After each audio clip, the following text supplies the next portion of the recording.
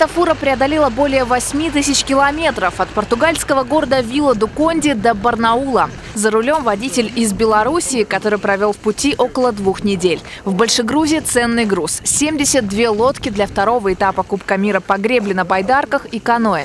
Цена каждой лодки более полумиллиона рублей. Тяжело было ехать, потому что груз очень легкий. Было сложно выезжать местами. Где-то подзависал, вот, э, буксовали, ну и так далее. Ну, мир не без добрых людей, помогали выезжать.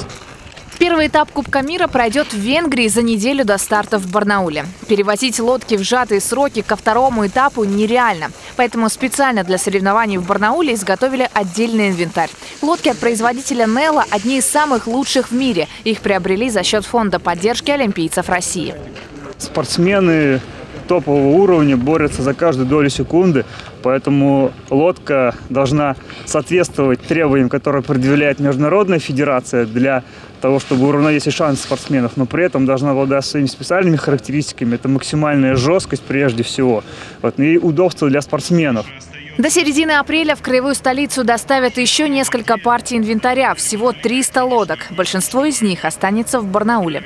180 лодок ориентировочно останутся в Алтайском крае, а остальные будут а, переданы в сборные команды Российской Федерации по гребле на байдарках каноэ. Учитывая, что у нас очень много ребятишек занимается, и э, для них э, эти модели будут служить очень долго. Между прочим, греблей в Алтайском крае занимаются почти 400 человек. Наследие Кубка мира определенно станет толчком для развития грибного спорта.